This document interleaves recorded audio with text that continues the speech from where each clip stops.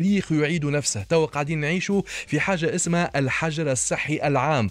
الحجر الصحي العام هذا راهو الكارونتين ولا الكارنتينا كما يقولوها راهو من التاريخ من قبل من عصر البيات من عهد حمودة باشا.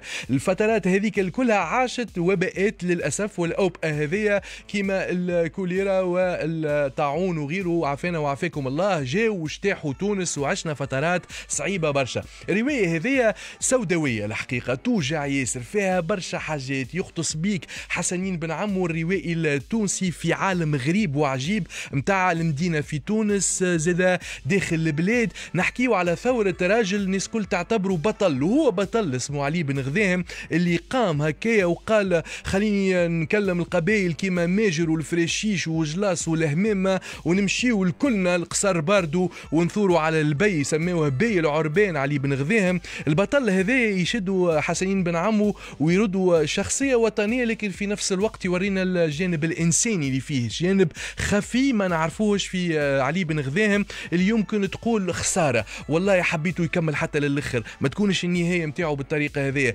تكتشف مصطفى خزندار السيد هذا اللي حكم 30 سنة في تونس وهو من أصل جريجي وشد مع ثلاثة بيات كوزير أكبر وحكم في البلاد وسرق برشا البلاد وبعث برشا فلوس للخارج وعمل بعماله لكن في نفس الوقت تحبه وتكرهه. في نفس الوقت تحب تحب علي بن غذاهم وتكره علي بن غذاهم على حاجات عملهم. تقعد باهت في برشا حاجات. تشوف شنو علاقة السيد قبي بالمصطفى خزندار. شنو حكاية خير الدين باشا الشخصيات الكبار هذه الكل. تعيشنا حاجات في التاريخ مزيانة برشا. اليوم نقدم لكم رواية اسمها عام الفزوع 1864 هو العام اللي فزعت فيه العباد. عام صعيب تعدى على التوانسة. وإن شاء الله ما نعاودوش نعيشوا حاجة كيما هكايا. رمضانك مبروك. مرحبا بيك حسني بن عمو. السلام عليكم مرحبا أهلا. كل عام وأنت بخير يا سيدي. كل عام بخير آه، مرحبا بالسادة المستمعين والمستمعات وأمسية طيبة ورمضانكم مبروك مرة أخرى. بارك الله فيك. أنت تعيش. انت أنت دخلت إلى قلب الرواية كأنك مخرجها. وانت عاد المخرج بتاعها. حسين بن عمو انت من أحسن الكتاب التوانسة في الرواية التاريخية. آه، قيدوم الرواية التاريخية. البدايات نتاعك كانت في الثمانينات. كتبت العديد من الروايات والرواية الحدث لأنك رجعت بها. الرواية نتاعك كنت قبل تطبع ألف نسخة وألف نسخة يمشيوا على رواحهم في شهر ومن بعد ما تعاودش تطبع بما أنك كنت تطبع وحدك. آه، من بعد الرواية الحدث ترجع بها 1864 عام الفزوع وتحكي لنا على علي بن غذاهم لكن أنت عندك العديد من الروايات. آه، حسين بن عمو علاش أنا اخترت الرواية هذه؟ خاطر تقريبا نعيشوا في نفس الأجواء توا على المستوى الاقتصادي الأزمة الأوبئة. الحكايات هذه الكل هكا ولا لا فعلا فعلا. وعلى كل حال هي الرواية تحكي على على ثورة تحكي على القلق المرازم الإيكونوميك وغيره والسياسي اللي اللي كان سائد في البلاد في الوقت ذاك في السابق داي هذا كله من من من, من الآثار نتاعو الأزمة المالية. الأزمة المالية اللي عاشتها البلاد جعلت صادق باي ووزيره الأكبر مصطفى غزنادار يلتجئان إلى أمر مكروه جدا. وهو الترفيع في الجباية. أي. والعودة إلى الشعب لامتصاصه وهو الحل الوحيد. بعد ما يكونوا قد ذهبوا إلى الخارج وطلبوا سواء المساعدة أو الاقتراض. وهو أسوأ أسوأ السياسات هي سياسات الاقتراض. فكان ذلك آه، شرارة آه، أشعلت البلاد نارا. وجعلت يعني الأشياء تنقلب راسا على عقب سواء كان بالنسبة للسياسة أو بالنسبة للشعب قاطبه امم عشنا فترة آه، صعيبة برشا في الوقت هذاك. أخمدت الثورة هذه بفضل الذكاء الثعلب معناها اللي هو مصطفى الخزندار شخصيا فرق تسد فرق تسد وهو ذكي برشا الشخص هذا وأنا ساعات كي نقرأ الروايات نتاعك خاطر مصطفى خزندار ظهر في بعض الروايات الأخرى آه، ما نفهمش معناها نقول هذا يحب تونس ولا ما يحبش تونس. ما تخلينا أنت حسين بن عمو ديما تخلينا ما نعرفوش الشخصية هذه لازم نحبوها ولا نوصلوا حتى واحد آه، يكره الشخصية هذه على العمايل اللي عملها والعمايل السوداويه داير ديما نتسائل نقول الشخص هذا خاصه الخزندار هل يحب تونس ولا ما يحبهاش وانت شنو إجابتك؟ لا هو يحب راسه. خاطر ما تنساش فما حاجة المنشأ نتاع مصطفى خزندار هو مملوك. أي. هو مملوك اختطف صغيرا من بلاده اليونان. وبيع في في أسواق إسطنبول. ثم يعني هو وأخوه أحمد شراهم باي تونس. ورباهم وقربهم فهمتني ولا عاد مصطفى حي أحمد كان جنرال في الجيش توفى فهمتني ولا لكن قعد مصطفى ومصطفى يعني صاهروا أحمد باي أحمد بي الأول صاهروا على أخته. فأصبح يعني كأنه من العائلة وفعلا من العائلة. والدليل أن مصطفى خزندار هو المملوك الوحيد الذي دفن في تربة الباي. مع معتبرينه من العائله الملكه معناها. معتبرينه من العائله لكن الرجل هذا بما أنه مملوك فقد خدم سيده وأسياده.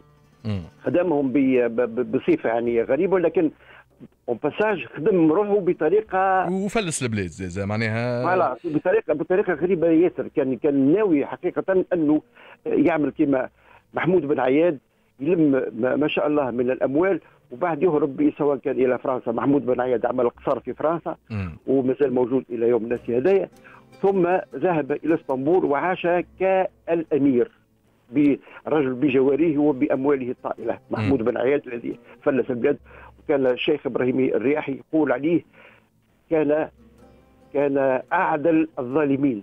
أعدل الظالمين هكا. أعدل الظالمين لأنه لم يترك أحدا بدون أن يفلسه. كهو معناها العدالة في الشيرة الأخرى هذه. به العدالة الشريرة. الشريرة. آه كتبت العديد من الروايات وديما شهر رمضان يحضر هكا في إحنا في آه أول أيام رمضان وشهر رمضان يحضر عندك في الروايات نتاعك. خاطر في ريحة بنينة في أجواء المدينة العتيقة. هكا ولا طبعا. وصارت فيها أحداث طبعا طبعا. شهر رمضان هو يلم الشعب الكل قاطبة المسلمين قاطبة حول حول أنفسهم. م. إذا كان حبيت نقول أنفسهم يعني كانوا يتباعدون طوال أشهر السنة ثم يلتفون حول بعضهم البعض ويتلائمون. لا بوازع بوازع ديني وبقرب العائلة وبلم الشمل.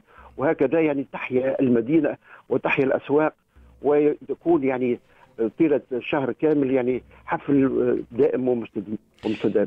أنا أكيد باش نرجع نحكي على الروايات نتاعك لكن فما مشاريع. المشاريع هذوما آه للأسف معناها مع هالكورونا فيروس ومع الظروف نتاع الحجر الصحي تأجل شوية الطباعة نتاعهم ونشرهم. لكن خلينا نقولوا عليهم من توا خلي العباد تعرف ما فماش كان عام فزوع فما مصطفى بن إسماعيل نحكيو على آخر وزير أكبر آه، تقلد المنصب هذا قبل دخول الاستعمار الفرنسي وكان هو من العباد اللي تسببوا في دخول الاستعمار الفرنسي في الفترة نتاع الصادق بي حجام سوق البلاط. رواية رائعة جدا. أنا كان لي شرف أني قريتها en manuscrit وباش نكتشفوها إن شاء الله في الأسابيع المقبلة. إن شاء الله ربي يفرج علينا. هذه أهم حاجة. هكا ولا؟ إن شاء الله ربي يفرج علينا. هو أو اللي تتمم لحديثنا عن مصطفى بن إسماعيل مصطفى خزنة دار. سيكون يعني حجام سوق البلاط هو مع آه، تكملة. تكملة. تكملة ومواصلة للأحداث التاريخية.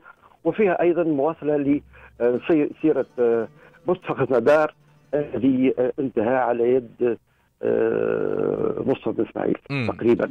دونك ولكن سبب في إسقاطه. دونك مصطفى عمل مشكلة لمصطفى هذيك هي معناها. مصطفى عمل مشكلة لمصطفى وكمل عمل مشكلة أخرى لخير الدين باشا. خير الدين باشا صحيح. وهكذا يكون قد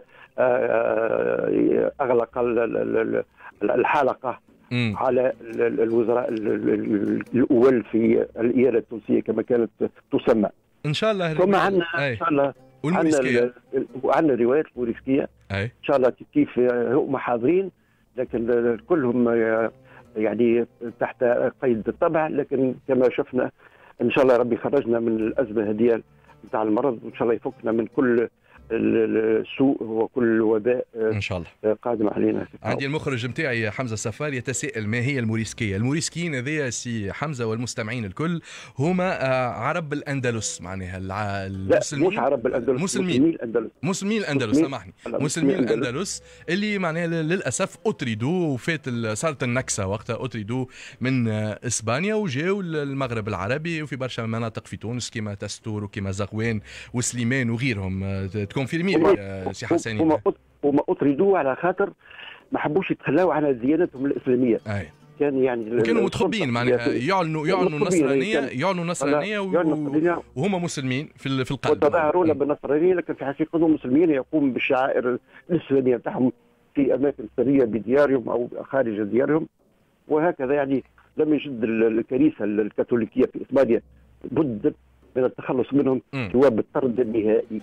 واضح. أه باش نخليك كلمة الختام شنو تحب تقول للتوانسة؟ الفترة هذه فترة أه، حجر صحي وكونفينمون أه فما برشا ناس رجعت للقراءة لقراءة الكتب. أنت عندك روايات رائعة جدا ويكفيونا أشهرة معناها من القراءة. تبارك الله. لكن من سوء, من سوء الحظ أن المكتبات لا تعمل. والله فما المكتبات مغلقة. أه. وذيك المشكلة يوصلني برشا يعني طلبات من عند القراء. فين نلقاو كيفاش نلقاو. المكتبات محلول مسكرة إلا القليل القليل جدا ربما فما Cérès فما Cérès مكتبة الكتاب آه نحيي قاعدين يحاولوا قاعدين يحاولوا قاعدين يحاولوا. فما مكتبة لوغي سافوار في ساحة برشلونة. صحيح. قاعدة تبعث عن طريق البريد. هذه الطريقة الوحيدة. م. وماذا أنصح؟ ما مع لست في في موقع النصح فقط كل واحد يعرف شكون شكون يحب يموت شكون يحب يمرض.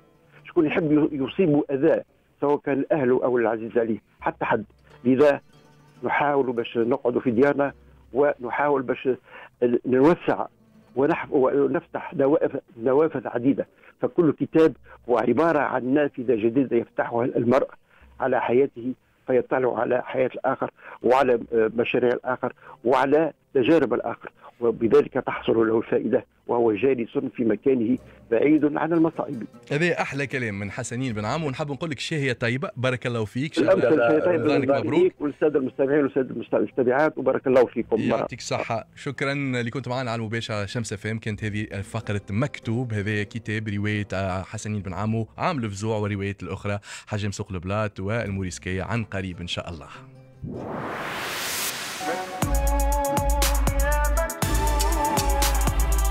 مكتوب